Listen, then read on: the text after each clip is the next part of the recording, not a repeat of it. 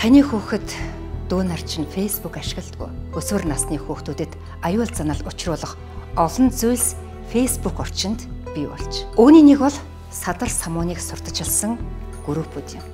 Эдгээр группүүд нь садар самаа агуулгатай контент байршуулах, бусдыг биеэ үнэлэхэд татан оролцуулах зорилготой ба улмаар насанд хүрээгүй хүүхдийг зөв бос зүйлд уруу татах, бусдыг хүчирхийлэх, залхих гэмт хэргийн маш том орон зай болсон байна.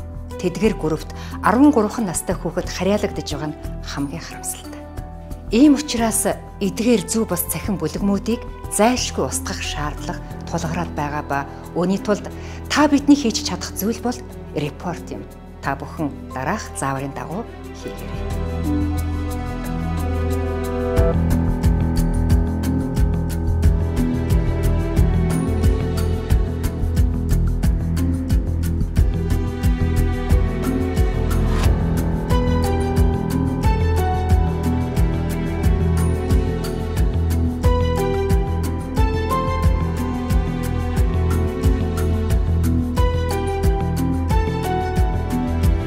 Хамтдаа бид аюулгүй цахим орчин бүтээж чадна.